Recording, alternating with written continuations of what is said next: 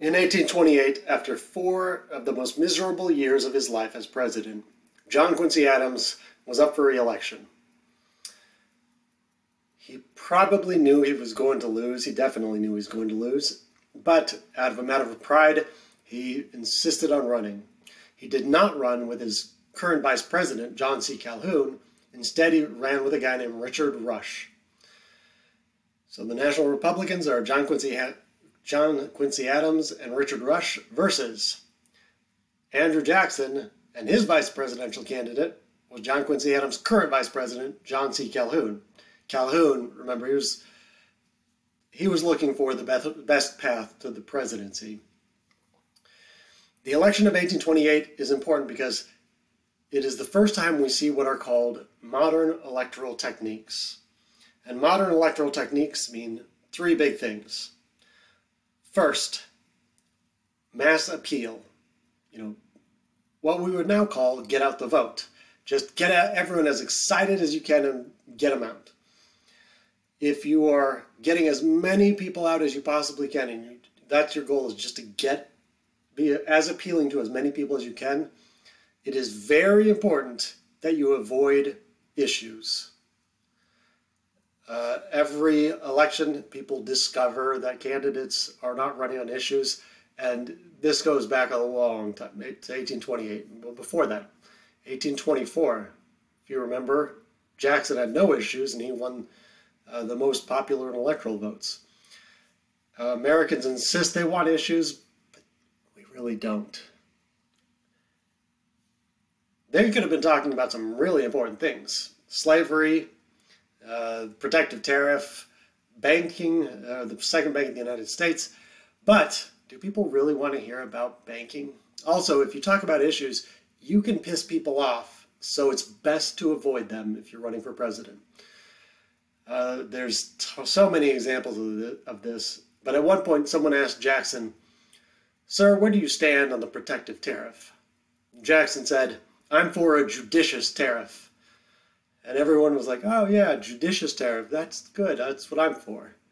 Judicious means of sound mind and judgment. So, what the hell is a judicious tariff? Nobody knows. So, that's the first thing mass appeal. Second, slogans uh, and images or personalities. Instead of running on issues, if you're going to have mass appeal, you run on things that are going to get people really excited, which is slogans, images, personality. And this is an area that Jackson had a huge advantage over John Quincy Adams. John Quincy Adams is brilliant, but his personality is not great. Jackson, he had a huge personality. Uh, this is an actual flyer from, or a pamphlet from 1828. You can read it top to bottom, and just so you know, there is no information that will be of any use uh, in understanding any issue. Jackson forever, hero of two wars, man of the people, presidency, because people, knocked down, old hickory, so they ran on slogans and images. And again, Jackson, he had a lot of personality, so he had a huge advantage. His because his nickname was Old Hickory, his supporters would come out and have big rallies where they'd plant hickory trees. And of course, John Quincy Adams, he had no comparable personality. Uh, you know, Adams and the National Republicans would be like, "What the hell are you guys doing?" And Jackson supporters it made sense to them because it always does to the people who support the person with more personality. Uh, Jackson had a campaign slogan. Do you want to? Uh, do you support John Quincy Adams who can write, or Andrew Jackson who can fight? Oh my gosh, it rhymes. We love rhymes. Uh, don't think about that one too hard. Do you want a president that can fight or one that can write? you got mixed answers on this one. So they just ran on slogans and getting people excited. And again, to this day, people do the same thing, and both parties do it, and yet then they get all indignant when the other party does. Make America Great Again, Hope and Change, Ronald Reagan's campaign slogan, let's make America great again. I mean, it's if if you're going to win anyway, avoid issues. Just have a catchy slogan. Third thing that modern electoral techniques means mudslinging, slandering, or just talking crap about each other. And it's not the first time this happened in U.S. history, but 1828, I used to be able to say was the dirtiest election in U.S. history, and then we've outdone ourselves. We've gotten really, really, really dirty. But for a long time, 1828 was the dirtiest election in U.S. history, probably. Jackson was the National Republicans uh, attacked Jackson for a lot of things. One, coffin handbill.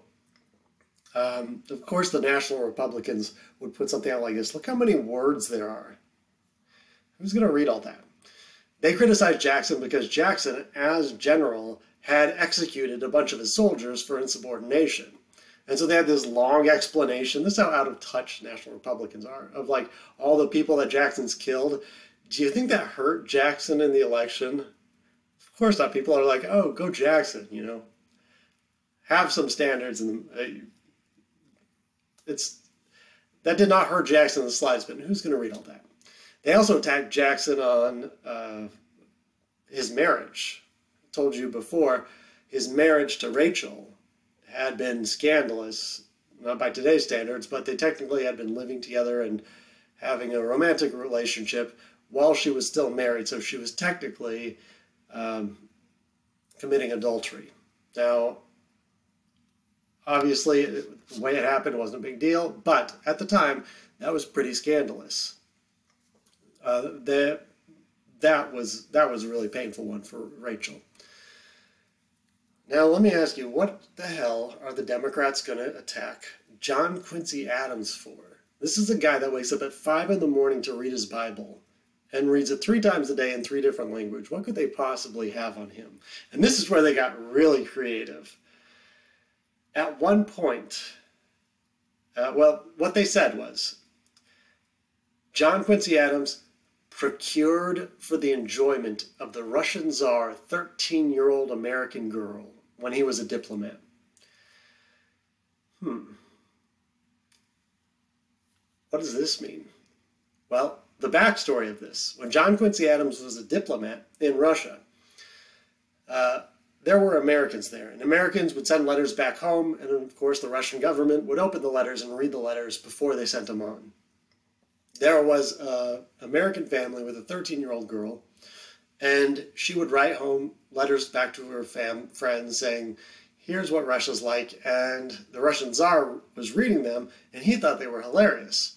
So he asked John Quincy Adams, the American diplomat there, Can I meet this 13 year old girl? So John Quincy Adams brings the 13 year old girl to the Russian Tsar. The Russian Tsar says, Hello, 13 year old girl. I'm the Russian Tsar. She says, Hello, 13 year old girl. They chat for a little bit, you know, with the parents there and John Quincy Adams there, and then they go their separate ways. Well, one of Jackson's supporters found out about this, and so they spread around a handle that said, John Quincy Adams procured for the enjoyment of the Russian Tsar a 13 year old American girl. They're making John Quincy Adams out to be a pimp. The beautiful thing, and always remember this, actually, Hitler said this if you want to make a lie, you make it simple and you just say it often. That's the formula for getting people to believe something that's incorrect. So the coffin handbill, it's just way too many words. Ultimately, Jackson ended up winning, and he won overwhelmingly. Jackson won a blowout victory. Obviously, in the Electoral College, 68%, that's huge, but in the uh, popular vote, 56% of the population, Jackson had the biggest, biggest popular vote victory in the entire 1800s in this election. He will have a bigger, bigger popular vote victory than Abraham Lincoln. He, it was an absolute blowout. So now we get Andrew Jackson as president, and he is this election changes all elections after this, the formula will be continued. And now all of, now we have a president who is a man of the people. First president to be elected who was not from a wealthy family. And he is a man of the people, a man of the common man, and he will represent the common man. Once Jackson won in November of 1828, before he actually got into office in 1829, his wife Rachel died. She died of a heart attack, I believe, and Jackson will insist she died of a broken heart. I can and do forgive all my enemies, but those vile wretches who have slandered Rachel must look to God for mercy. Jackson does not forgive his enemies, but he holds grudges and he holds them for a long time. He will especially blame Henry Clay for this. Jackson was absolutely furious. When Jackson was inaugurated, Jackson will go on to uh, promote that idea of being from the common people, a common man. And he will be the first president to open up his inauguration to everyone. Before this, it was always an invite only occasion. Jackson is the first president to say, doors open, I'm a man of the people, everyone come on in. So, as you would guess, 21,000 people showed up for this huge inaugural party. Everyone came. The White House was just flooded with people. Uh, people came from all walks of life, and it was just the White House was just crammed with people. When Jackson got there, it was so crowded. He came into the door and he was like jostled around, people patting him on the back, congratulating him. And it was so crowded, he ended up with his back in a corner and people all around him. They couldn't figure out a way to get out. So he broke a window, hopped out the window, jumped on his horse, rode into Virginia, and spent the evening in a hotel. Well, when you have 21,000 people in the White House, they don't just leave because the president left. So they stayed, and what do you think happened when 21,000 people are in the White House? They started stealing, and they started trampling over all the furniture, started breaking stuff. Uh, it was just chaotic. You know, there's like vats of liquor, and everyone's getting drunk, stealing. Just it was a madhouse. How do you get 21,000 people out of the out of a house party? And this is good information for you know, for if you're ever at a kegger in college or something. Uh, at this point, obviously, calling the cops is not an option. So, how do you get 21,000 people out of the White House? You move the liquor. The party will always follow the liquor. So they took those big vats of alcohol, dragged them out into the lawn, you know, filled it back up, and then of course the party always follows the alcohol. So the whole party went out, they closed the doors, boarded them up, and the White House was trashed. Everything was trashed. It took thousands and thousands of dollars and years to fix this. This is true, and it's insane. It took longer to fix the White House from Jackson's inauguration, and it cost more money, than from when the British burnt it down in the War of 1812 to a lot of people like Jefferson and oh, no, not Jefferson, to a lot of the older politicians, Jefferson was gone by this point. This looked like just absolute pandemonium. This is what happens when, to a lot of those older politicians, when you get someone like Jackson in office. And so Jackson's the president of the common man, and it was a common man's party, and it was wild.